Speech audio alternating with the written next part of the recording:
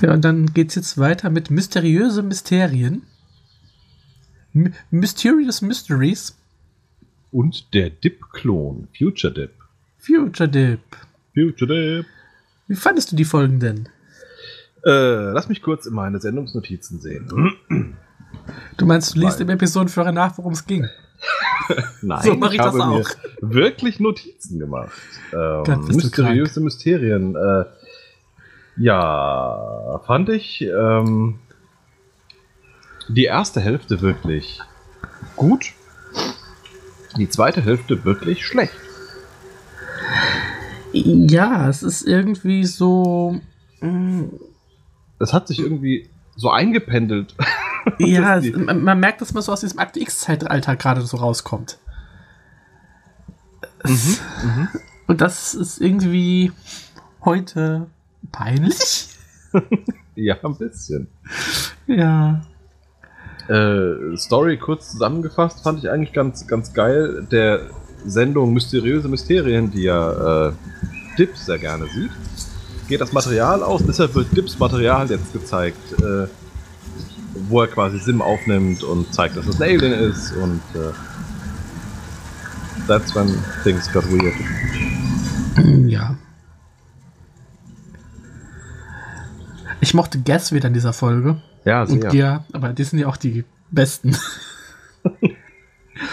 Schön fand ich es äh, in, der, in der Folge, dass sie damit anfängt, dass mysteriöse Mysterien einen Beitrag über einen Sektenführer zeigt, der aber nur quietschen kann wie ein Schwein. Wo wir wieder die Verbindung zu den Schweinen haben. Mysteriöse Mysterien über Schweine. Ich weiß nicht, was das mit den Schweinen ist.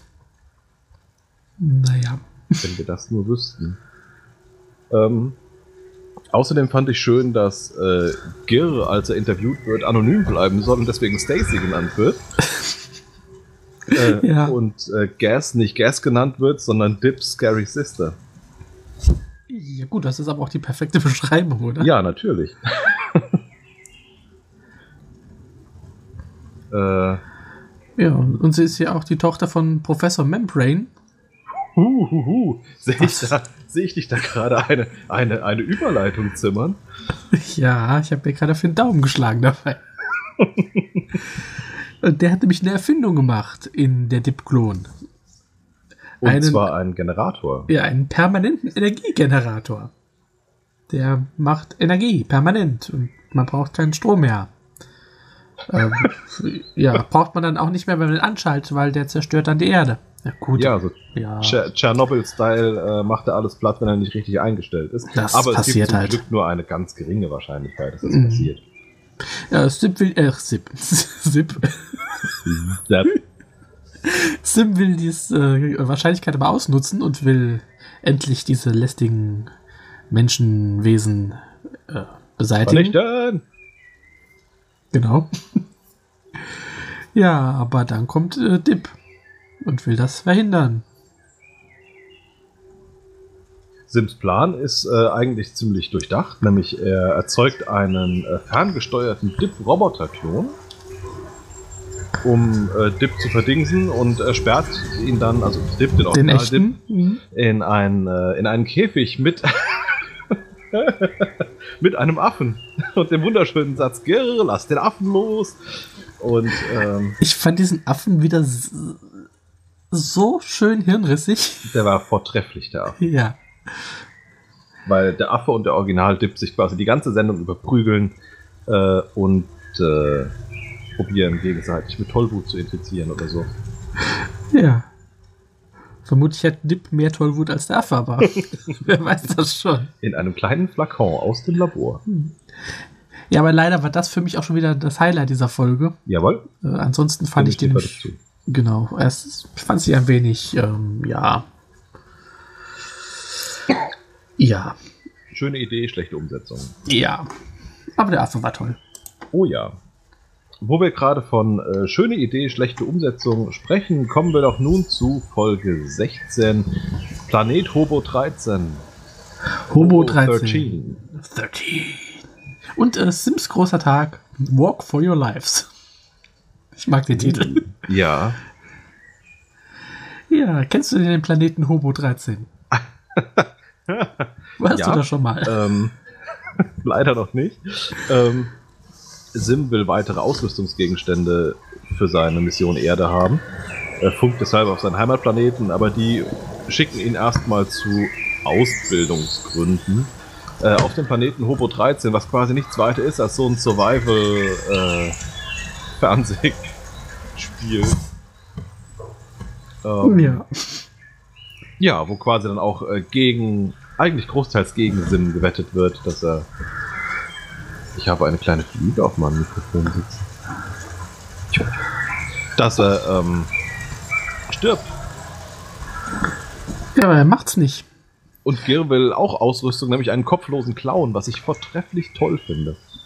Gier ist toll. Kopflose Clowns sind sowieso toll. Und Ja. Burritos. Hm, kopflose Clown-Burritos. Nom nom nom. Ja, aber Sim ist diesmal gar nicht so unfähig wie sonst.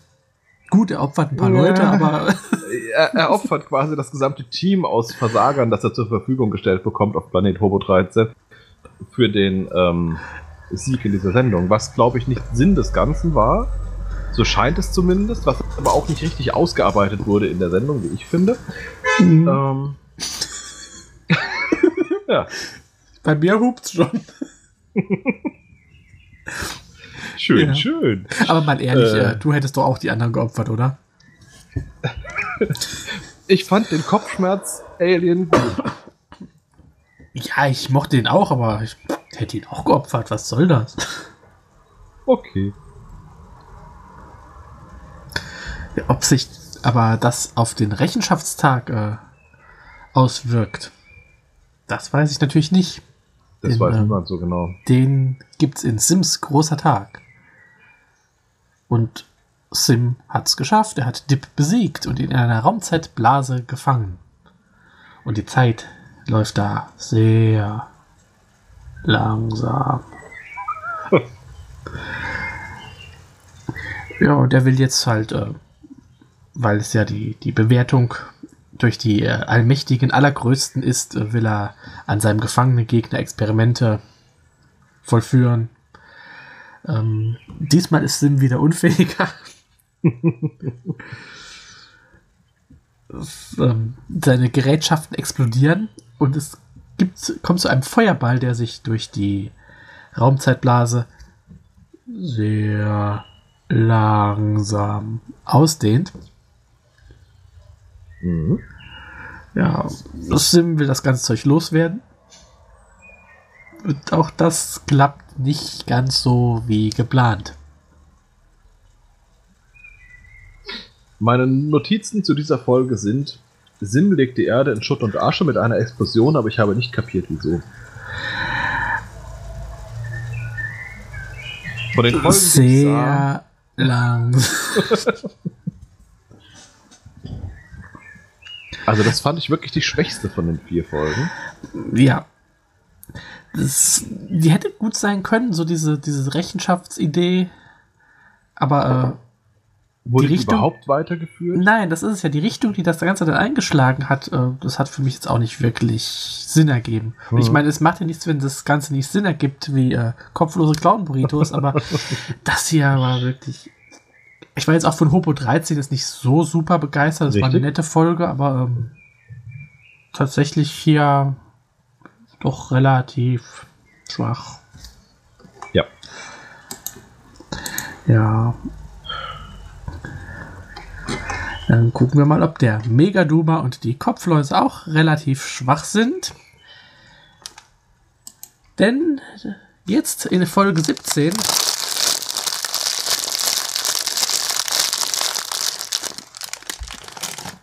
Hier spricht das Irken-Oberkommando. Wir untersagen hiermit ausdrücklich jede weitere Diskussion über diesen ineffektiven Lichtsim. Ab jetzt wird dieser Podcast nur noch Qualitätsmedien besprechen.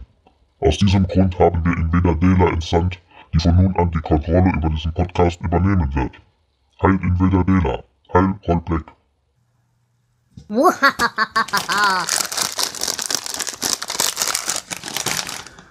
Hallo, meine willigen Sklaven. Wir hatten ja gerade schon geredet über Experimente mit Gefangenen durchführen. Und da ich euch mag, habe ich beschlossen, dass ihr noch eine Chance auf Überleben habt und euch in meinem Imperium hochdienen könnt, wenn ihr wollt. Aber da habe ich natürlich ein paar Prüfungen für euch vorbereitet. Und ich dachte mir, was ist das Schlimmste, was man euch Menschen antun kann? Und relativ weit vorn äh, rangiert dann Roy Black. Sehr langsam. Hallo ihr zwei, alles schick? Tag. ich habe ein bisschen Angst vor dem, was jetzt kommt. Na gut, dann frage ich erstmal, was hast du denn so gemacht seit unserer letzten Aufnahme? Äh, Klitoren gehegelt und Bücher gelesen. Und geflucht und geweint.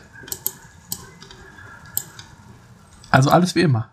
Genau, um es zusammenzufassen. Dann ist Oh, es ja und gut. ich habe Insektenspray empfohlen bekommen von Amazon, weil ich ganz viele Bücher über Monsterinsekten gelesen habe. Das war auch lustig. Monsterinsekten. Den muss ich vorbereiten, der Sommer kommt. Aber in, in meinem Insektenhotel ist noch niemand eingezogen, das kann ich vermelden.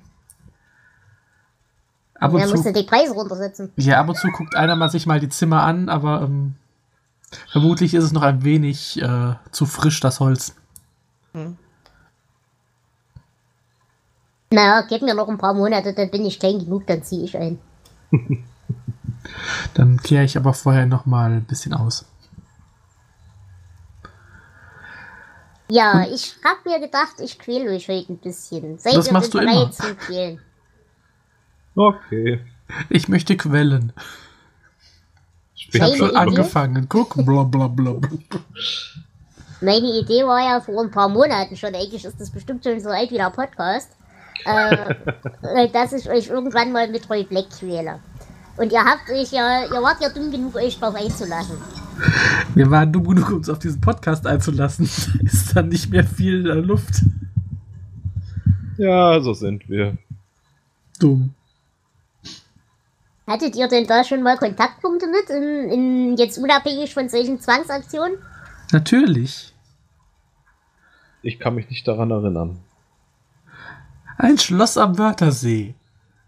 Habe ich bestimmt mal geguckt. Ich habe jedenfalls dunkle Erinnerungen dran. Dunkle, dunkle Erinnerungen. Ja, daher begeben wir uns ja heute auch. Unter anderem. Richtig. Unter anderem. Ach, stimmt, ja, jetzt wo du Mhm. du sagst. Ich muss mal blöd fragen, war einer von euch schon mal in der Ecke da hinten? Weil ich war da noch nie. Ähm, ich glaube, in der Ecke war ich tatsächlich schon mal, aber das ist 20 Jahre her. Oder noch länger. Muss ich googeln, warte. Nee.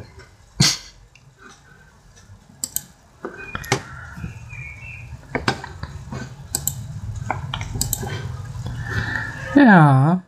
Ach hey, das ist ja. Am Arsch der Welt. Das ist ja ganz hinten.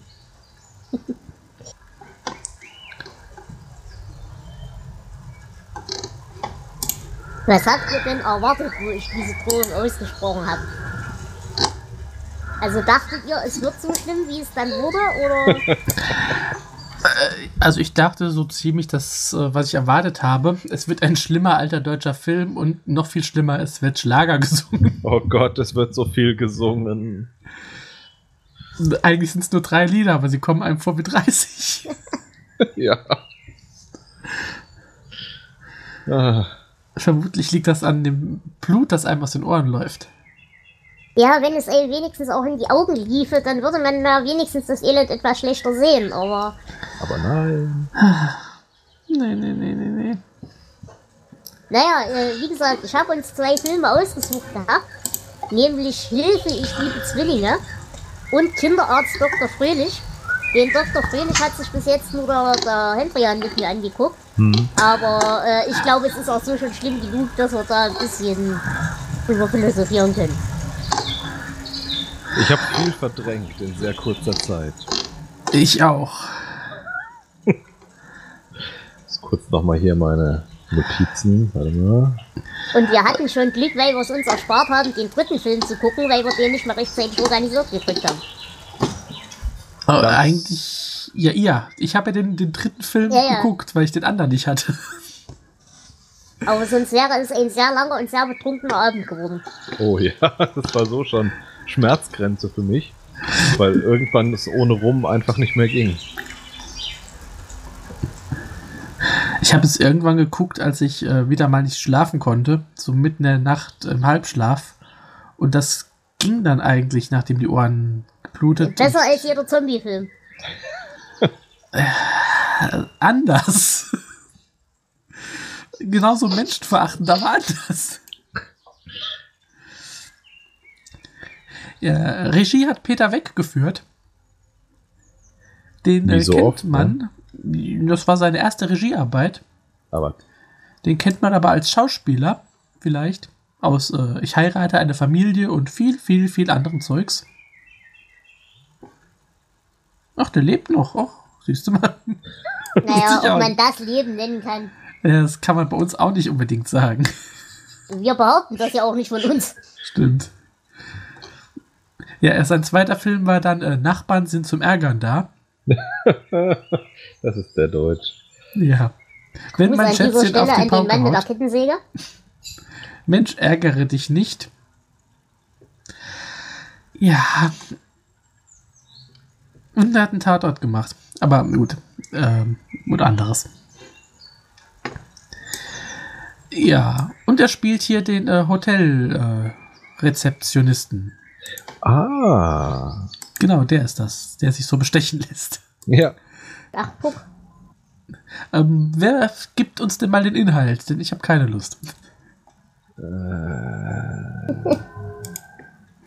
Wir machen das zusammen, würde ich sagen. Okay. Genau. Ähm, Roy also ich Black. habe mir, genau, ich hatte mir kurz aufgeschrieben, Roy Black spielt einen Modefotografen namens Andy Hart, der von Hannah Peters, gespielt von Uschi Glas, heimlich Fotos machen soll. Das ist Ja. schon so als ähm, Und das Beginn ist nur der Anfang. irgendwie. Ja, das ist genau. Das ist noch der harmlose Anfang. Äh, gibt sich dafür als Rennfahrer aus, denn sein, ich weiß nicht, Onkel? Onkel Fritz, Mhm. ja. Onkel Mohrenkopf ist Techniker in einem Rennstall. Das geht äh, völlig nach hinten los. Die Frau Peters flieht quasi zu ihrer Zwillingsschwester Renate in eine Hotelfachschule an den Wörthersee. Äh, der Fotograf reist hinterher und es beginnt jede Menge Verwechslungsgedöns. Und der Onkel kommt mit, weil er in seiner Funktion als Erfinder und Techniker ein super Spezialmittel erfunden hat und das in den Tank gekippt hat. Mobis 3. Genau. Er erwartet eigentlich, dass das Ding hochgegangen ist und äh, erwartet Ärger, weshalb er sich jetzt lieber ganz schnell aus der Stadt verkrümelt. Aber Tatsache ist, es hat eigentlich sogar ganz gut funktioniert. Ja, aber das glaubt er ja nicht, weil keiner würde das glauben. Ich meine, bei dem Mann explodiert der Kaffee. Bei mir auch. Ja, gut, du bist ein Sonderfall. Äh, ein Sonderfall ist dieser Film leider nicht. Die sind, glaube ich, aus der Zeit alle so. Ja. Ja, oh ja. Also, ja. Also, äh, es kommt mir vor wie ähm, Schulmädchenreport mit weniger Titten. Mehr aber mit mehr sportlicher Betätigung. Naja. Dazu müsste ich mir die nochmal angucken.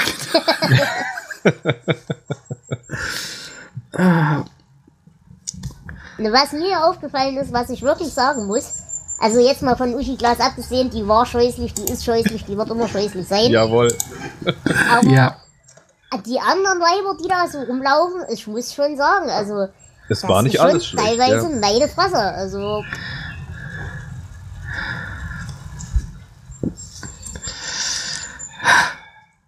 Tja, Aber, aber der Film ist in so vielen Punkten so schrecklich übergriffig. Also nicht nur mit der Grundprämisse, sondern überhaupt. und da hast du nur diesen Film gesehen. Was denkst du, wie, wie schlimm der andere wird?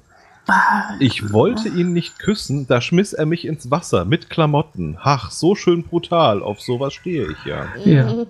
Oder wenn der, Schul Zitat. der Schuldirektor äh, Uschi Klaas im Zug trifft, die er für die Lehrerin hält, aber die, also die andere, es ist, ach, sie lesen den Playboy. Allein diese Szene war schon, und die Oma, die draußen steht und zuguckt, während er da rumfällt. Da muss ich euch tatsächlich aber mal fragen, unabhängig, wie gesagt, das sind da ja auf einer Seite, aber wann habt ihr überhaupt das letzte Mal in eurem Leben irgendjemanden den Playboy se- lesen lassen sehen? Äh, das war letzte Woche oder wann ich diesen Film geguckt habe. Mhm. Ich wüsste nicht, wann ich das letzte Mal so ein, eine Zeitung in Aktion gesehen hätte. Also Ja. außerhalb des Regals. Also Ja. mich würde jetzt interessieren, seit wann es den Matador nicht mehr gibt. Das war die letzte Zeitung, die ich derart Mhm. öfters mal in der Hand hatte. Das sagt mir sogar was. Aber das ist auch bestimmt schon wieder 50 Jahre her. Ich meine, das Internet hat das alles kaputt gemacht. Gut, der Playboy war ja eh nur wegen den Interviews interessant. Und wegen Aber- Stephen King-Geschichten. Seit ähm, 2008 gibt es den Matador nicht mehr. Oh Gott, bin ich alt.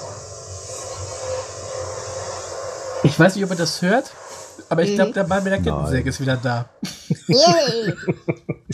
Frag ihn doch endlich mal, ob er reinkommt und den Elend ein Ende nach. Nein. Was ich hier aber auch noch sehr lustig fand, war die Tatsache, wir reden uns ja heute immer gerne auf über äh, Product Placement und solchen Sachen. Äh, die Kellogg-Packung am Anfang war schon sehr deutlich platziert, oder? Ja, auch die ganzen äh, Werbedinger auf den Rennwägen, auf der Rennstrecke. Ich muss mal mein Fenster zumachen. Also es gab Klingt aber auch durchaus. weniger Äh, nach Kettensäge als nach Seitenschleifer, oder? Ich hätte auf Hochdruckreiniger getippt. Oder sowas, ja? Ach ja.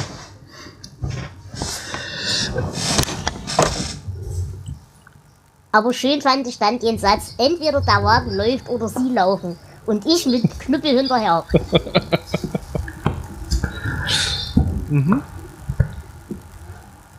Jetzt haben wir ja gerade schon äh, uns über die doch durchschnittlich attraktiven Weiber unterhalten. Was haltet ihr denn von unserem Hauptprotagonisten, von Roy, so optisch? Dem harten Andi. ja. Ich möchte nicht darüber nachdenken, was an dem hart ist. Nein, nein, nein. Die Frisur.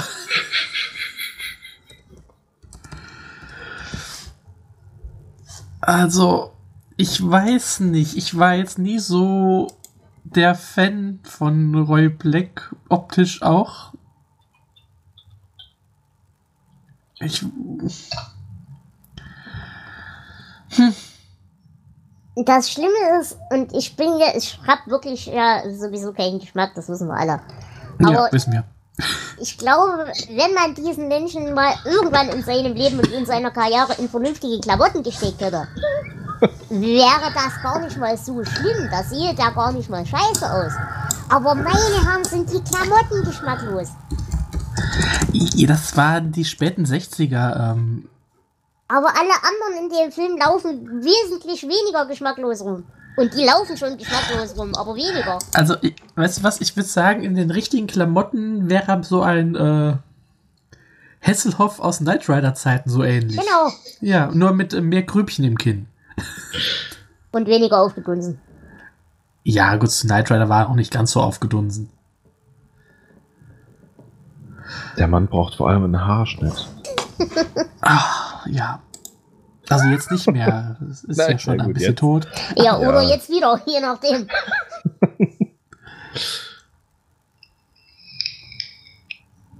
Ach, Nee, nee, nee. Konntet Nee. ihr so richtig den Dialekt zuordnen? Weil ich weiß nicht, ob der Dialekt, den er da so bei sich trägt, ob der da wirklich in die Ecke gehört oder. Ähm, keine Ahnung. zu, zuordnen nicht, dafür ist es zu, zu hochdeutsch, aber man merkt schon, dass es irgendwas was äh, aus der süddeutschen Ecke ist, sag ich mal.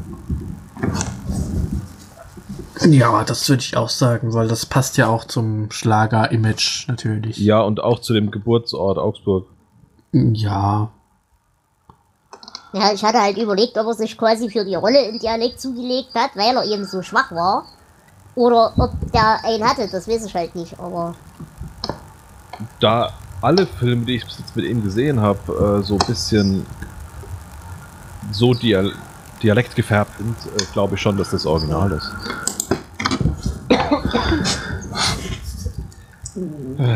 Ähm, Und was haltet ihr denn von Uschi Glas? Geh mir weg. Ich meine, sie ist ja bekannt geworden aus den Winnetou-Filmen, wo sie, ich glaube, das Pferd gespielt hat.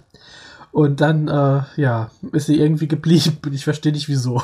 Als Stunt-Double von unser Charlie. Okay, aber so. Nee. Nein, vor allem ganz ehrlich, ich meine, wie gesagt, bei den anderen Weibern kann ich sagen, die waren ja teilweise wirklich echt hübsch. Mhm. Und klar, die Mode hat sich verändert und so weiter, aber das sah größtenteils ja echt vernünftig aus. Mhm. Aber bei der, die hat man ja tatsächlich angeblich irgendwann mal attraktiv gefunden. Und das geht mir überhaupt nicht in den Kopf. Also Ich selbst für damalige Zeiten. Ja. Ja. Ich weiß auch nicht. Weder als die eine Schwester noch als die andere. Ja. Die zweite Verwechslungsebene in dem Film, nämlich mit dem, mit dem Erfinder, der sich als, als Kochlehrerin ausgibt, fand Oh. ich um einiges hübscher. Oh ja, Ja. auf jeden Fall. Ja, und es und war natürlich mir so mal mit dem Schauspieler. Wer ist denn das? Ich kenne den. äh, äh, äh, der Georg Georg, Tomalla. ah, okay, aber das ist Ähm. mittlerweile hin, ne? Äh, schon seit Stimmt. 1999, ja. Mhm.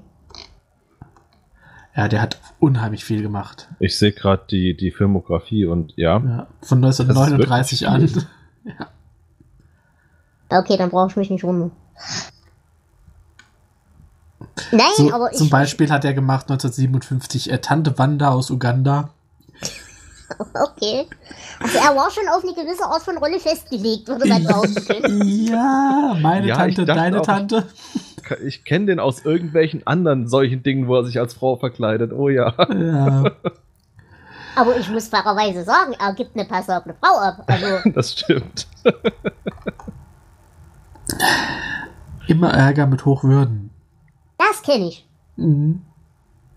Ja, wenn Ludwig ins Manöver zieht. Gott, ist das alles lang her. Ja, das ist echt ewig her. Oh Gott, was ist das? 1979. Shimpo, was macht ein Aff in Afrika? Mit Äh, Ich möchte Glas. Fass nicht aufmachen. Ich weiß es nicht, es hat zum Glück keinen äh, Wikipedia-Eintrag. Und das will was heißen. Ja. Aber ich Ja. muss sagen, die Szene mit dem Kaffee und vor allem die Szene mit dem Pfannkuchen, die war schon nett. Ja, die Pfannkuchenszene hat mir auch gefallen. An dieser Stelle Grüße an den Ralf. In etwa so stelle ich mir das vor. Du stellst dir den Ralf vor wie ein Pfannkuchen? In Kleid Ach so, und Schürze. und vielen Flammen drumrum. also irgendwie habe ich mir den Ralf noch nie im Kleid vorgestellt. Immer nur nackt, aber das ist eine andere Geschichte.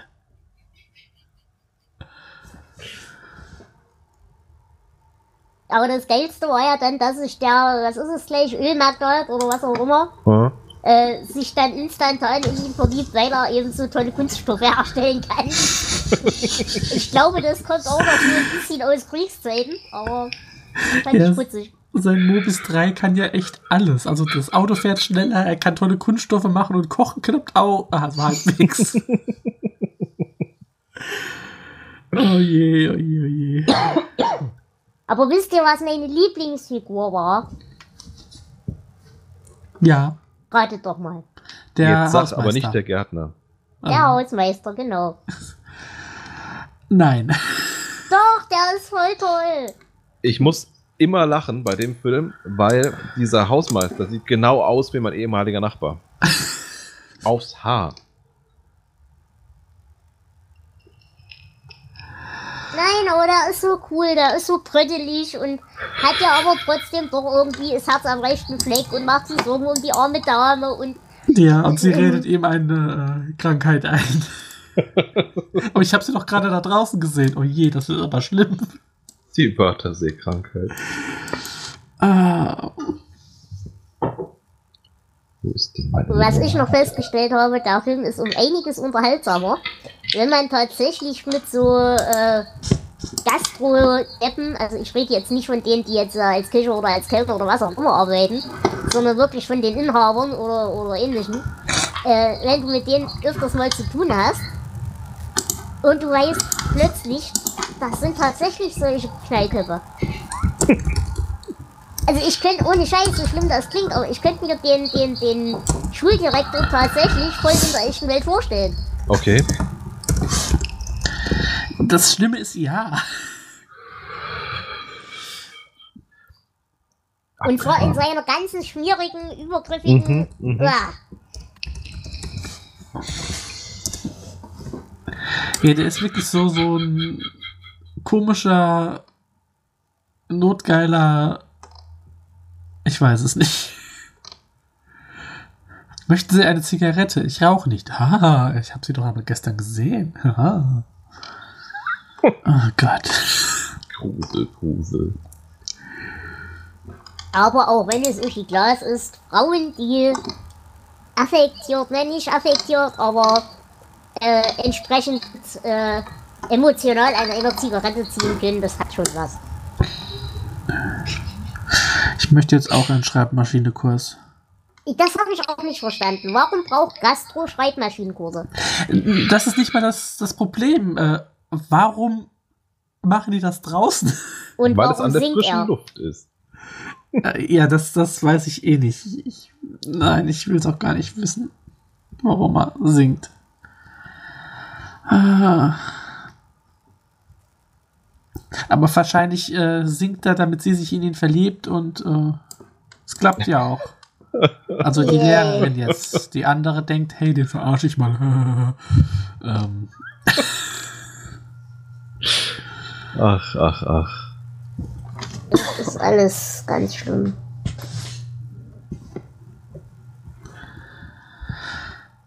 Aber trotz allem muss man sagen, also es ist alles schlimm, brauchen wir überhaupt nicht drüber reden. Aber es hat ja trotz allem so zwei, drei progressive Dinge drin, ne?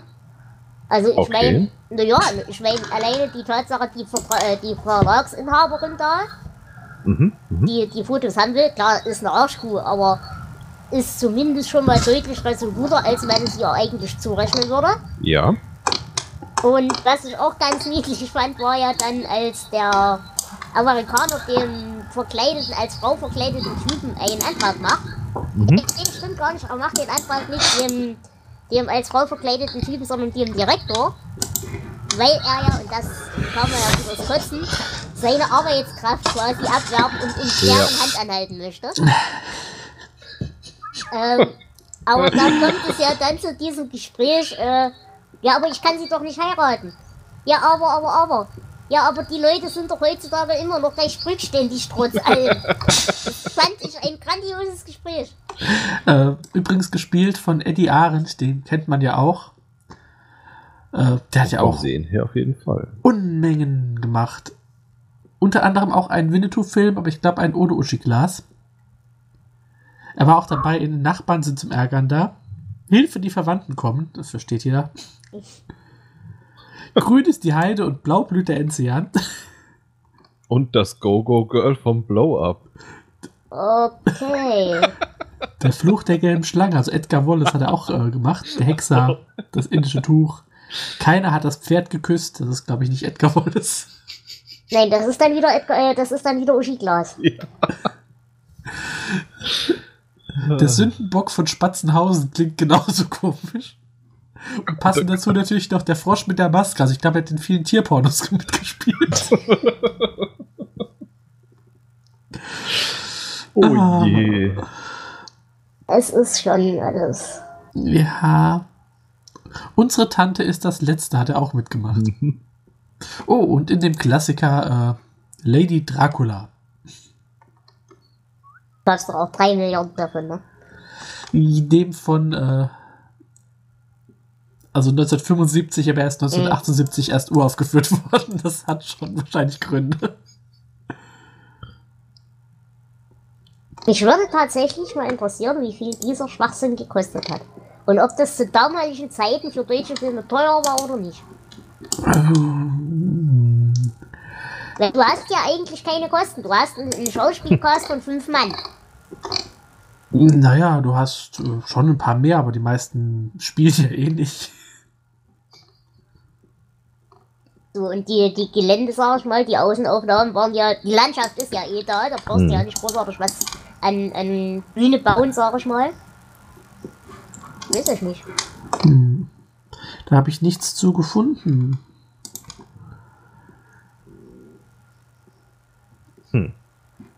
Aber er ist auf jeden Fall so erfolgreich gewesen, dass man zumindest den Namen von dem Film schon mal gehört hatte. Ja. Ich sehe hier gerade was, also er ist äh, ab sechs Jahren freigegeben, aber nicht feiertagsfrei. Was? Das scheint also wie, wie das Leben des Brian und Heidi sowas zu sein, dass man nicht an diesen äh, tanzlosen Feiertagen gucken darf.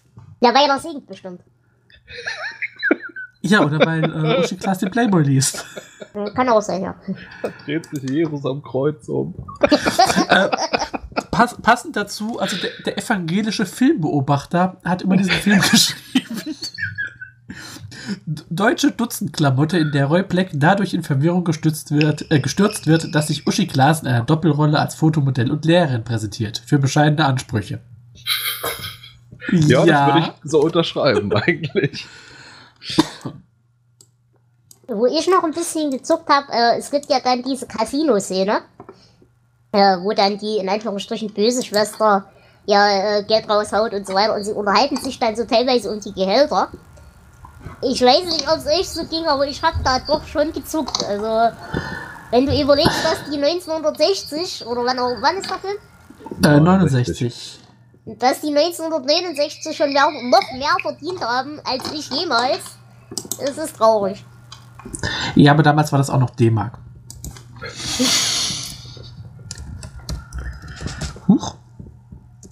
Die habe ich überhaupt nicht im Kopf, diese Szene. Na, das ist so die Auflösung, wo er es dann das erste Mal so richtig begreift und ihr dann, also der anderen dann im Wald hinterher rennt, was auch überhaupt nicht creepy ist, Nein, gar nicht. und sie dann zwingt, eine Zigarette zu rauchen, um seine Theorie zu bestätigen. Macht er das nicht das erste Mal bei dieser Autofahrt? Nee, vorher schon. Da weiß Dann es habe dann ich eben. Aussätze. Das kann ja keiner verdenken. Das ist ähm, auch, ja, wunder dich nicht. Und habt ihr verstanden, wie dieser Nein. komische, andere, schmierige, blonde Typ da reinpasst? Welcher? Äh, ja, eben, das ist ja das, was ich dich gerade frage. Ich habe nicht verstanden, ob das jetzt ein dazugehöriger Bruder ist oder ob das so ein Ah. schmierlappiger Ich äh, habe das Daddy ist. so interpretiert, als wäre das der. Äh, ich weiß nicht, ob wir, ob wir vom, vom gleichen sprechen, als wäre das der Freund von, äh, von dem Fotomodell. Ja, der, ob der so richtig der Freund ist oder es nur gerne wäre, ist eben zweifelhaft. Aber da wir hier von Grenze zu ungesunden Regionen reden, schließt das ja Ah, Bruder okay, nicht unbedingt ja, aus. Ja, ja. Ich hätte eher sowas gesagt wie, äh, wie Dingsbums. Ähm, ja. Mir fällt das Wort nicht ein, aber es ist Mehr schon Bums gut. als Dings wahrscheinlich, aber Dieter Kaiser. Ähm, also ähm, der Film hatte wohl damals hier in der Bundesrepublik äh, zweieinhalb Millionen Besucher. Mhm. Ich habe gerade geguckt, so in den ähm, Top 100 deutschen Filmen seit 1963. Äh, da ist er nicht mehr dabei. Aber er kann nicht so allzu viel weit tief drunter, unten drunter sein. Ähm, ich möchte euch aber mal so ein paar dieser Filme aus dieser Liste nennen. Mhm. Also auf Platz 100 ist All Sure Hand. kenn ich. Okay. Otto der Liebesfilm auf Platz 97. Oh Mhm. Gott. Mhm. Ähm, auf, auf Platz 99 übrigens Werner Volles Rohr. Der war Mhm. gut. Äh, was haben wir denn Schönes noch? Ähm,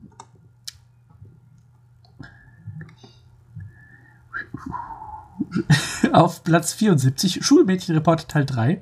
Mhm. Der Hausfrauenreport ist auf Platz 72. Und Oswald Kolle, dein Mann, das unbekannte Wesen, auf Platz 71. auf Platz 69 ist auch Oswald Kolle, zum Beispiel Ehebruch, und dazwischen ist nur Heinche. Übrigens, ne, seid mir dankbar. Ich hätte euch auch mit Heinchen quälen können. Ja, wer weiß, wie lange dieser Podcast noch läuft. Nicht mehr lange. Und Was, was hättest du dir ausgesucht? Oh, bei Heinchen bin ich nicht selber so richtig gut im Bilde. Aber ich habe auf jeden Fall noch ein Projekt auf Halde, womit ich euch auf jeden Fall noch quälen werde. Und wenn es diesen Podcast nicht, dann zwinge ich euch in den Dela Sastercast. Äh, denn wir müssen dringend über Freddy Quinn Filme reden. ich ignoriere einfach mal weiter und das Boot ist auf Platz 53. Auf Platz 48 ist Lass Jucken Kumpel.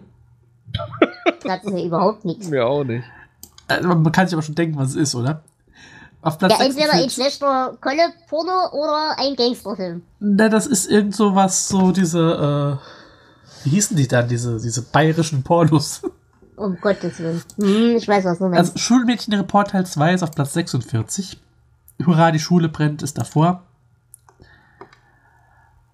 Ähm, Winnetou Teil 3, Ödipussy, Der Untergang, Christiane F., Die unendliche Geschichte, Werner, Oh, bla bla bla.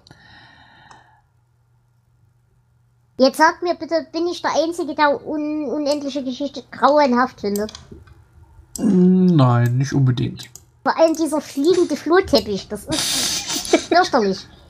Ich bin bis jetzt ja wirklich drum rumgekommen, ne? Ernsthaft? Ja. Gratuliere ganz herzlich. Oswald Kolle, Das Wunder der Liebe, auf Platz 20.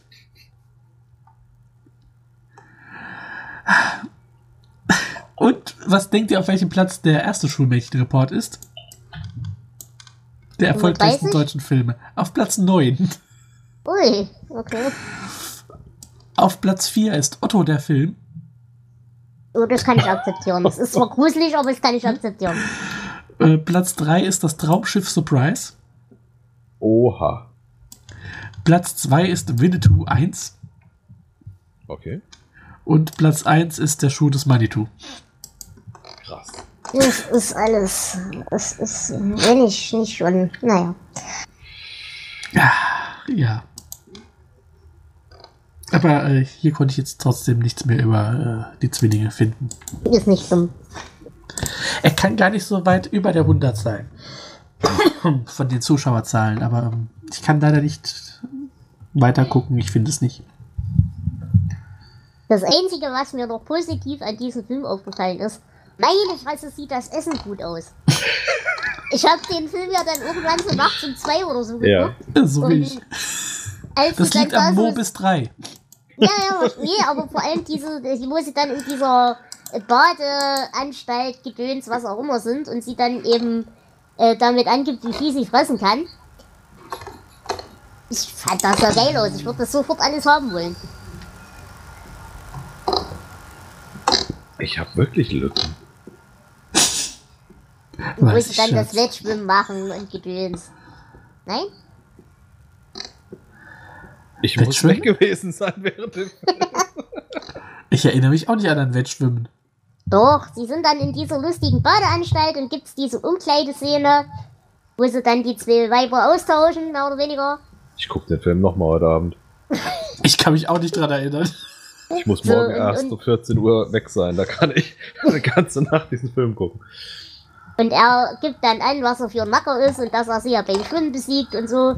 Und dann müssen sie auf dem Boot schwimmen und die andere Schwester sitzt schon auf dem Boot. Ah, ja, ja, ja, ja.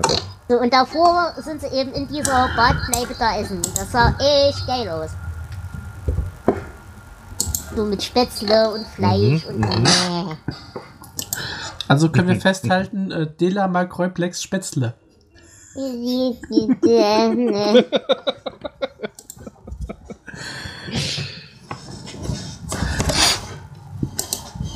So, Ja, der Typ, der das Drehbuch geschrieben hat, hat natürlich auch ganz viele Drehbücher geschrieben. Eins seiner letzten, ach ne, da war er Schauspieler, war Ekstase, der Prozess gegen die Satansmädchen. Das klingt. Ja. als wollte ich das sehen. Er hat aber auch äh, Regie geführt, zum Beispiel in ähm, Hausfrauenreport 6, Warum gehen Frauen fremd? Mhm. Und dann Drehbücher geschrieben für schöne Filme wie äh, Zwei Rebläuse auf dem Weg zur Lorelei, Das ist alles sehr, sehr verstörend. Haie an Bord, das muss ich mal gucken, das müsst ihr dem Hai-Alarm schicken. äh, nein, doch nicht. Schade. Mich äh, ich hätte gern so einen deutschen Schlager-Hai-Film, das wäre bestimmt geil. gerade Ich würde fasziniert wetten, von dass es den Titeln, gibt. Nein, von Titeln wie Monika und die 16-Jährigen. den kenne ich wird nur tatsächlich. Das nachts ist das ja. Happening der Vampire. Frau Wirtin treibt es jetzt noch toller. Also ich war mit meinem, das erinnert mich an Schulmädchenreport, gar nicht so falsch. Die jungen Tiger von Hongkong. Hat er auch geschrieben. 69 Liebesspiele. Der hat auch Regie geführt. Das Mädel aus dem Böhmerwald. Das kennt man doch, oder? Ja, Wo ist eigentlich der Böhmerwald? Ist der in Böhmen oder ist das nur so daher gesagt? Nö, Das müsste ist- schon, ne? ich denke auch, aber keine Ja, Ahnung. weil eigentlich müsste ich ja die Ecke da hinten kennen. Ja.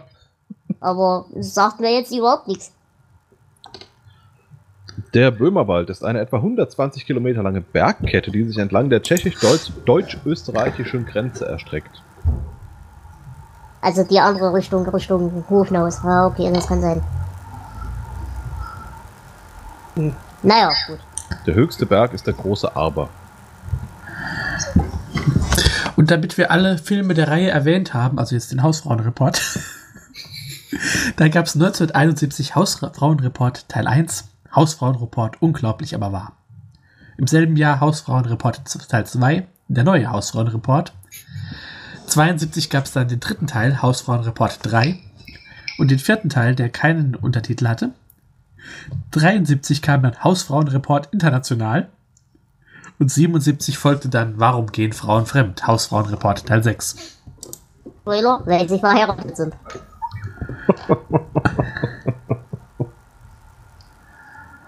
Oh Tja. je. Und ähm, der Hausfrauenreport International äh, wurde übrigens 2008 von der Liste der jugendgefährdenden Medien gestrichen. Oh je. Ah, Warte, soll das heißen, die anderen sind noch drauf oder soll das heißen, asiatische Frauen sind weniger schlimm? äh, nein, ich glaube, er war nur also als einziger da drauf. Okay. Hoffe ich. Ich weiß es nicht.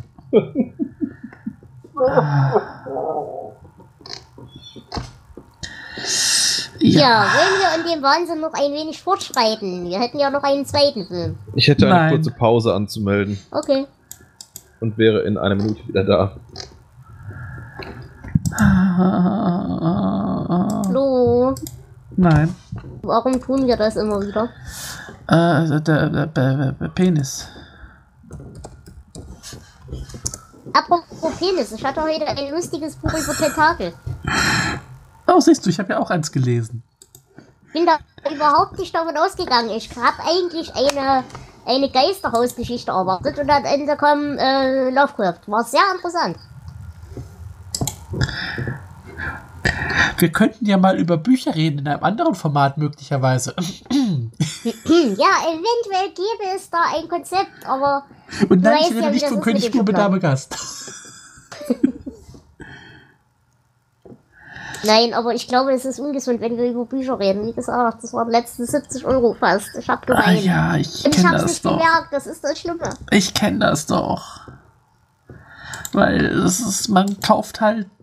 Das ist auch schlimm bei diesem Podcast, weil wir reden ja meistens nach der Aufnahme noch ein bisschen und es äh, Mhm. vergeht kaum eine Woche, in der ich nicht irgendwas äh, dann. Ah, Aber ich muss dich loben. Es ist nicht ein einziges dabei, das scheiße ist. na, das ist doch schon mal gut. Also das war gut ausgegebenes Geld auf jeden Fall. Wir werden irgendwann mal drüber reden. Jo. Hallo. Ja, jo. Bentrian, hast du in letzter Zeit mal irgendein Buch in der Hand gehabt oder bist auch nur dran vorbeigelaufen? Ein Buch? Du meinst das, was unter dem Tisch liegt, damit er nicht so wackelt? Ähm, Ich dachte, das wäre die Frau. Nein, die liegt auf dem Tisch und wackelt dort. Das ist andersrum. Aha, ich wechsle das immer. ach, deswegen. Deswegen kriege ich bei meinem Sexleben immer Splitter. Ja, Splitter kann man rausziehen, Kinder. Egal. Ähm, nee, ich habe äh, kein Buch. Kein Buch. Nö, kein Buch. Ich habe noch mehrere Bücher hier liegen. Äh, aber man kommt. Wenn du, wenn du wählen müsstest zwischen Zombie-Fliegen, riesigen Tausendfüßlern und Riesenspinnen, was würdest du als nächstes lesen? Die Amazon-Rezensionen zu irgendwelchen Insektensprays. Ich bin gerade irgendwie schlecht auf Insekten zu sprechen. Äh, nee, ähm, zombie klingt eigentlich schon mal ziemlich cool.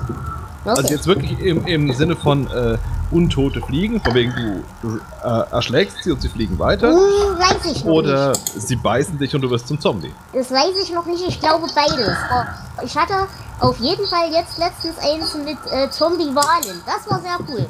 Also das tatsächlich zombifizierte Wale. Das klingt cool. Das hast du mich an was erinnert. anderes. Muss ich dran denken, das noch zu tun. Okay. Stellen wir doch die, die obligatorische Frage. Und Christian, was hast du noch so gemacht in den letzten Tagen? Seit wann?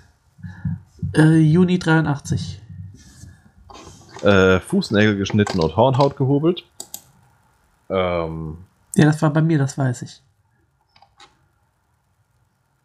was habe ich denn noch gemacht? Aber wenigstens waren es sehr gute Wurf Wurfsicheln. Tja. Deswegen sind die Mammuts ja ausgestorben. Gehobelt bis auf den Knochen. Äh, zum Glück nicht. Zum Glück nicht. Ich habe genug von bis auf den Knochen. Mein Finger hat immer noch kein Gefühl. Ähm, was haben wir denn noch Schönes? Ich habe irgendwas mit meinen Blumen gemacht draußen. Die leben Wächst noch alle. Scheiß denn bei dir? Bei mir Ja. wächst nichts. Es ist zum Kotzen. Ähm, also gut, klar, was wächst, ist die Zucchini, weil das ist wahrscheinlich so Zeug, was du auch auf den Müll schmeißt und es wächst weiter. Ähm, komischerweise wachsen meine Kohlrabi, den hätte ich am wenigsten zugetraut. Weil Kohlrabi im Blumenkasten, hm, aber es funktioniert. Cool. Äh, wer sehr, sehr auf sich warten lässt dieses Jahr sind Paprika und Chili. Gut, dann bin ich beruhigt. Meine machen nämlich überhaupt nichts. Es bleibt noch alles schwer klein. Ich hoffe jetzt halt auf so heiße Wochenenden, wie das, was jetzt kommen soll, mit schön schwül und so. Hm. Äh, ja, ja, Flo, wir bleiben alle drin dieses Wochenende. Und ähm, die Tomaten blühen schon und ja. Bei mir meine Tomaten wollen nur so halb. Und die Chili kommen überhaupt nicht. Äh, die Tomaten, die ich selbst gesät habe, die kommen auch noch nicht. Also die sind, die sind auch noch schwer, schwer klein. Okay. Aber die die sind bei gekauften, mir schön hab, ähm, geworden. Da sind noch die ersten Blüten dran und jetzt. die, die gehen jetzt ab. Aber die versprochenen Melonen werde ich dir nicht mm, Gar mitbringen, kein geben, Problem. schicken können. Weil die, das bleibt Blattgesträuch. Also mehr kommt da auch nicht. Die ist ja auch in München und hat uns nicht mehr lieb. Das hat jetzt einen Moment gedauert. Ja, meine Tomaten ist so langsam so klein. Ich habe sie auch jetzt umgetopft die Tage. So kleine Blütchen kommen. Ähm, was richtig geil kommt, ich habe Lauch einfach ein bisschen höher abgeschnitten, Ja. beim Verwerten und wieder eingesteckt. Ja, mache ich auch. Ich habe hier eine Flasche stehen mit Lauch. Ja. Und Ach der was. wächst wie bekloppt. Das ist geil. Kannst jeden Tag zugucken. Äh, einfach in, in, in Erde gesteckt oder? Ja. Hm, genau, einfach in Erde und also du müsstest, wenn du jetzt im Supermarkt welchen kaufst, Ja. ne, so Lauchstangen, Ja. dann empfiehlt sich, wenn du so zwei Tage erstmal in Wasser stehen lässt, damit sie Wurzeln wieder kriegen. Äh, es, manchmal hast, haben die noch Wurzeln. Bei mir hatten die noch Wurzeln. genau, kommt halt drauf an, ob Ja, sie dich ja. bescheißen oder Ja. nicht. Ja. Aber im Normalfall zwei Tage in Wasser stellen, dann haben die gute Wurzeln, dann kannst du einsetzen. Und dann einfach in so eine 2 Liter Cola-Flasche, machst du mit Erde voll, Mhm. machst vorher ein paar Löcher rein Mhm. und tust dann die, die Lauchstangen dort einfädeln in die Löcher. Solltest du ja hinkriegen. Ja. Du kannst dann- einen Topf nehmen. Das geht Oder auch. so, genau. Und schmeißt dann halt einfach äh, Erde oben drüber. Ja, ja. Ja, cool. Wächst wie Hexe, also selbst bei mir. Cool. Wird getestet. Und meine Kräuter wachsen auch schön. Äh, Also, also äh, es kommt drauf an. Ich, ich bin mir nicht ganz sicher, was da wächst. Ich habe da zwei Sachen gesät und eins davon kommt. Ich muss mal gucken, was das wird. okay. Und was ich hier so im, ja, ganz früh im Jahr schon gesät hatte, in so kleine Töpfchen. Also die Brunnenkresse kommt geil. Mhm. Äh, der Dill kommt auch immer besser. Und das dritte wächst und gedeiht. Und ich habe nicht die geringste Ahnung, was es ist. Es sollte Lavendel sein, aber es ist definitiv kein Lavendel. Okay. Es sieht aus wie so Tomatenpflanzen, aber Tomaten riechen ja auch und so. Also Ja. Ist es nicht. Äh, Aber es ist warte mal, schön. das löst in mir irgendeine Assoziation aus. Ähm, ähm, ähm, ähm, nee, Natürlich. äh, nee, es ist, wenn es mir wieder einfällt, schreie ich, aber. Ja, und bei mir, äh, die Kräuterfraktion ist sehr zwiegespalten. Also so mein Basilikum und Petersilie und Gedöns, das geht halbwegs. Aber zum Beispiel mein Oregano ist komplett tot Okay. und Thymian und Rosmarin wuchert wie Sau. Also mein Oregano und Majoran kommen schön. Ähm, mein Thymian habe ich mir jetzt einen neuen gekauft und eingepflanzt. Der ist jetzt schön. Mhm. Der alte ist ein sehr trockener Busch gewesen. Also irgendwie, der, gut, der hat aber auch schon einige Jahre auf dem Buckel. Wir bleiben beim Thema. Ja, Uschi Glas. Und,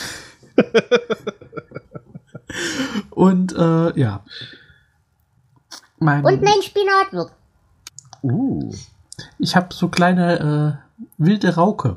Die kommt auch schön jetzt hoch. Unkraut. Das ist Unkraut, das kommt immer.